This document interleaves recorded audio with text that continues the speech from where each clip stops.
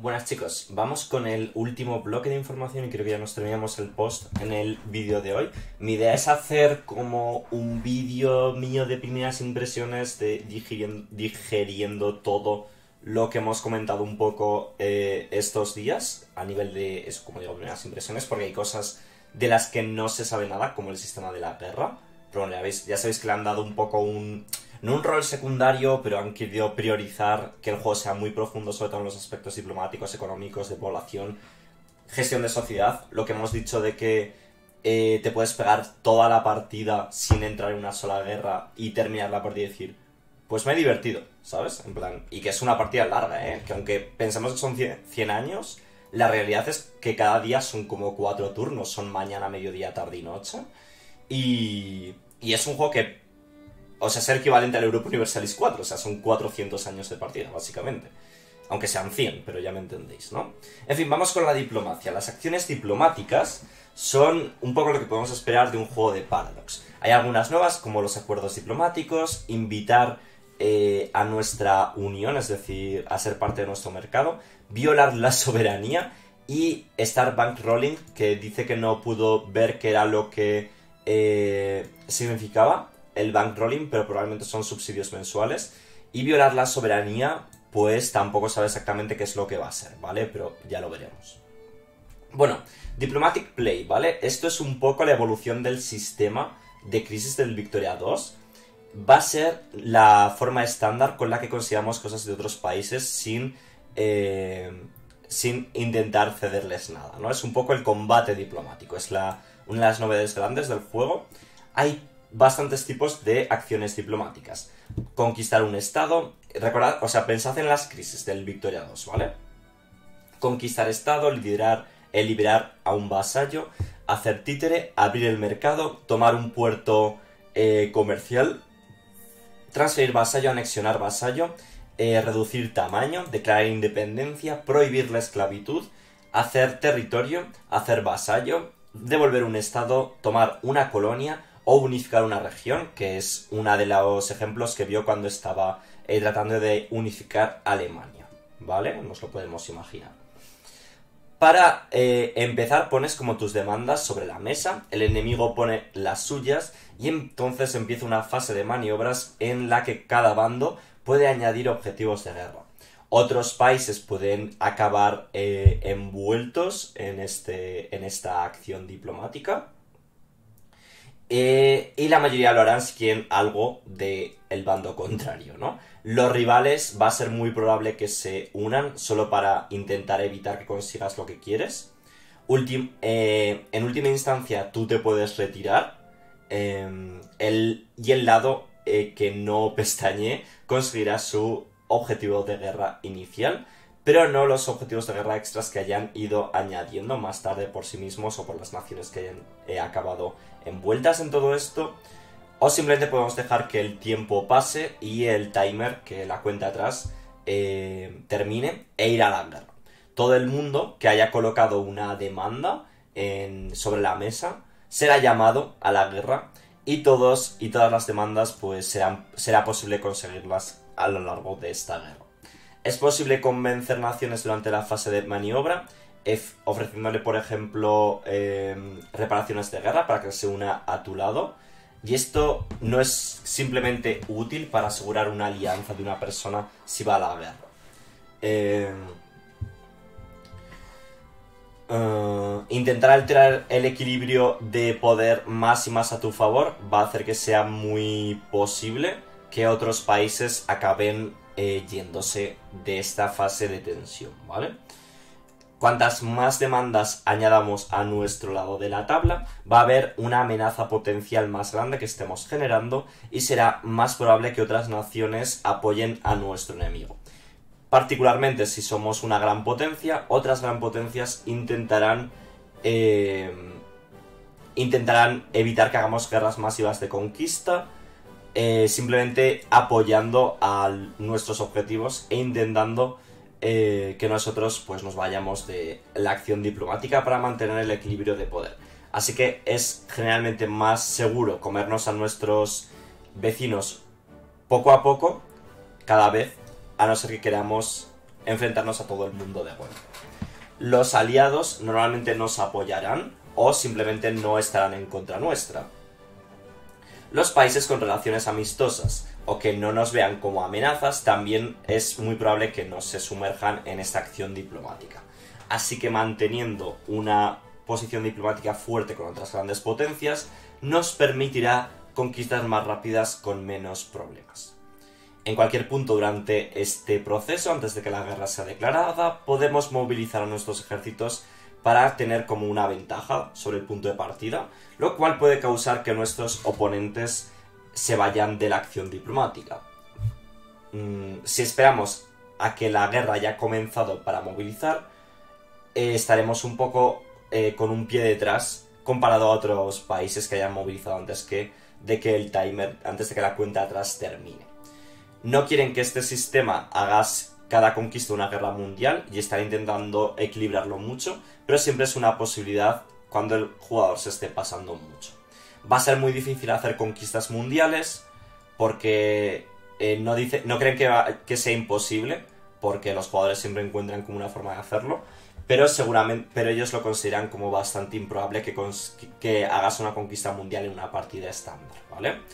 No hay status quo en una acción diplomática, o se va a la guerra, o uno de los bandos eh, se retira, o, y el otro consigue su inicial objetivo de guerra, pero solo el inicial objetivo de guerra. Así que no lo podemos utilizar como. O sea, no lo podemos utilizar a la ligera. Siempre va a haber algún bando que haga o pierda. Que pierda o que gane algo. ¿vale? No hay más naciones sin civilizar, en vez de eso tenemos naciones sin reconocer, que básicamente significa que no estaban eh, consideradas como iguales por las grandes potencias del momento y no consideren ninguna penalización arbitraria de la tecnología o al combate simplemente por ser naciones sin reconocer. Jugarán de la misma manera que eh, todo el mundo durante la mayor parte de la partida empezarán un poco detrás tecnológicamente, basado en circunstancias históricas y en las condiciones económicas y sociales con las que tenían que lidiar, pero normalmente será un poco más difícil convertirse en un país eh, avanzado tecnológicamente a nivel industrial y a nivel eh, social, pero todo esto estará enlazado con las leyes, las poblaciones, los grupos de intereses, los recursos, la infraestructura inicial, eh, y, no por su posición diplomática. Esto es una mejora muy importante respecto al 2 también, ¿eh? Para estos países, en el sentido de que como que las penalizaciones que tiene son como naturales por su situación social, económica y tecnológica, y no por un no por una obligación estándar diplomática o tecnológica de decirnos que eres un país atrasado y vas a ser atrasado como tal, ¿no? La única diferencia mecánica que tienen es que eh, generan menos amenaza estas naciones.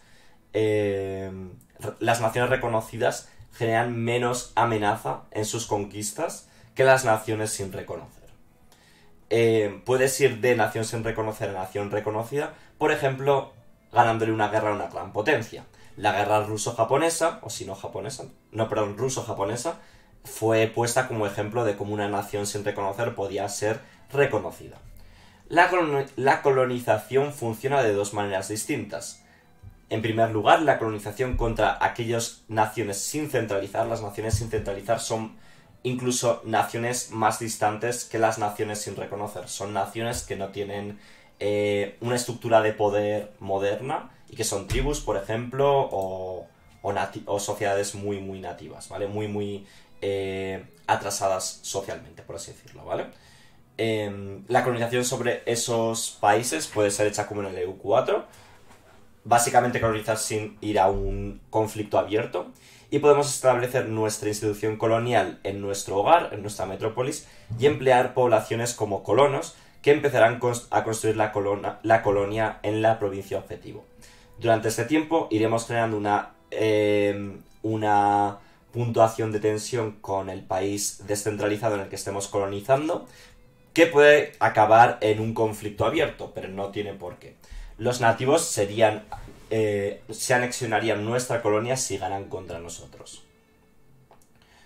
Bueno, a ver, las armas de fuego no nos permiten colonizar mágicamente nuevas áreas, como pasaba en Victoria 2. nos van a ayudar contra los alzamientos si tenemos que pelear.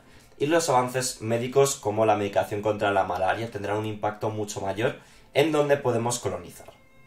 La colonización contra países sin reconocer, no sin centralizar, va a ser más como declarar una guerra común, una guerra estándar, en la que les podemos convertir en nuestro vasallo colonial o les podemos pedir un puerto comercial, lo cual creará un nuevo estado bajo nuestro control con acceso sobre su mercado. Anexionar territorios eh, más allá de los mares es un método que creará un estado colonial, lo que no es lo mismo que un estado sin incorporar. Esto afectará a las, políticas coloniales, tendrá eh, reglas especiales de colonización y distintas mecánicas. La guerra y el combate están sin terminar y no están listos para hablar sobre, sobre esto todavía. El prestigio sigue siendo una cosa y va, sigue siendo una realidad y va a afectar a nuestro ranking como gran potencia.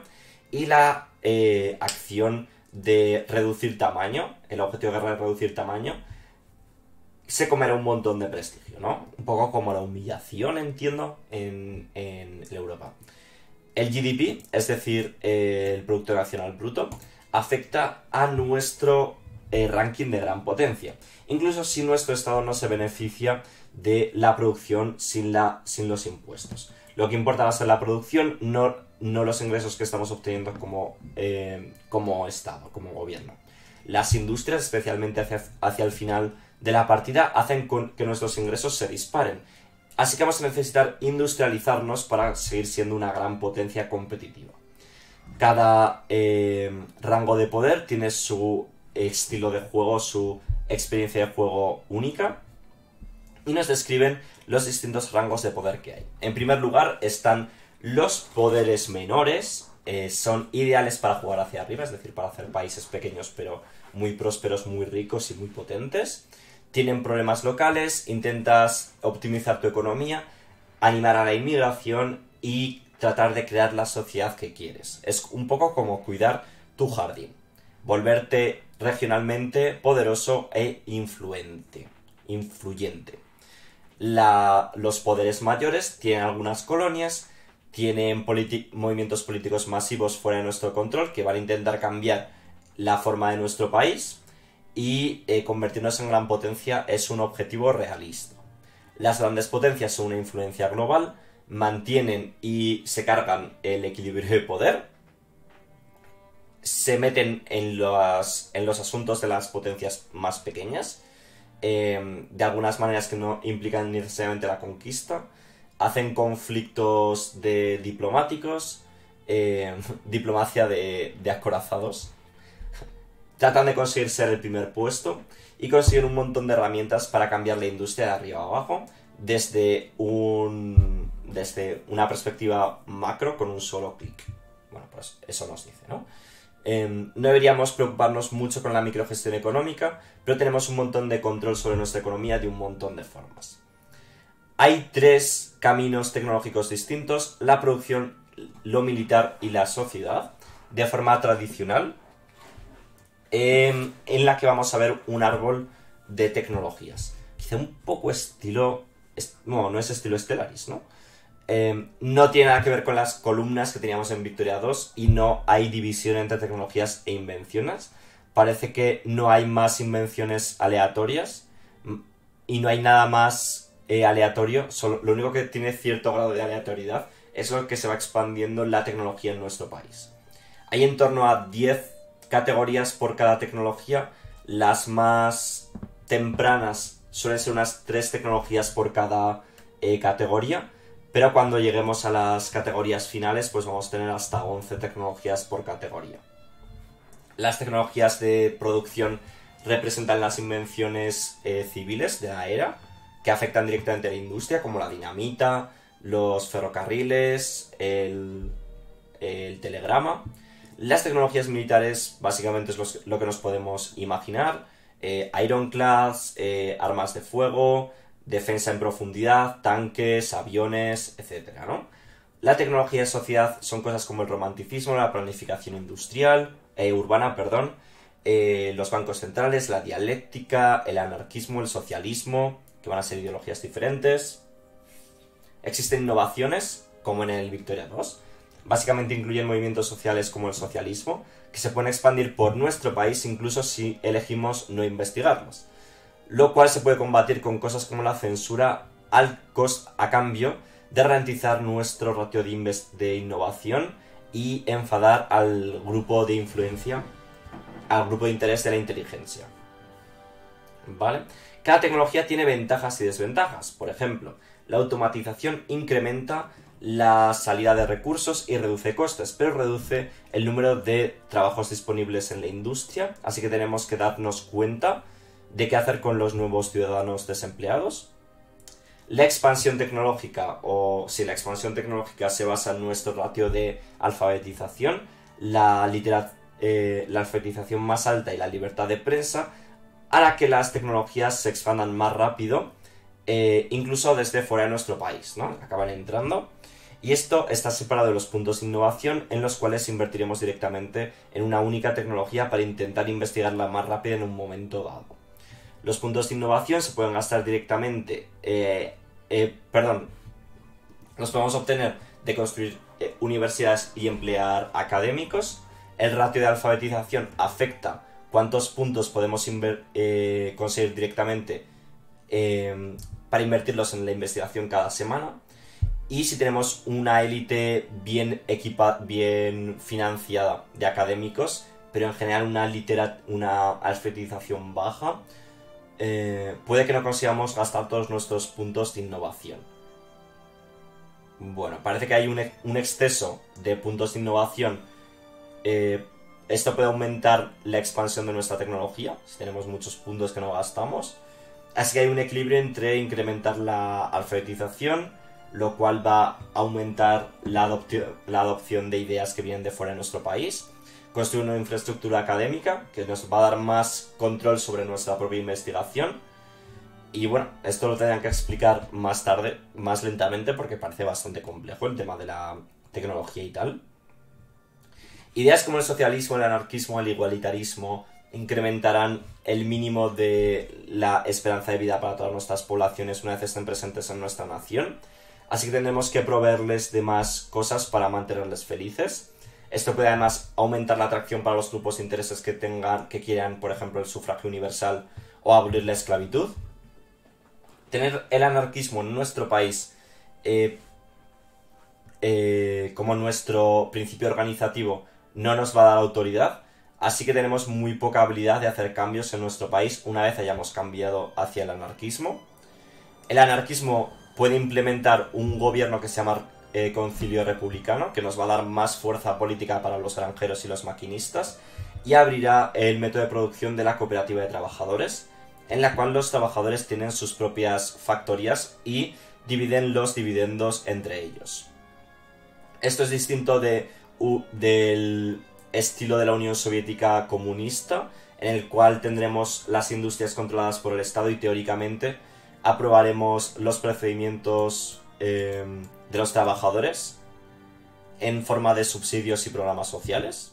¿Ok? Dice que si sucede una revolución, esto es interesante, nos podemos poner del lado de los rebeldes. Así que podemos crear...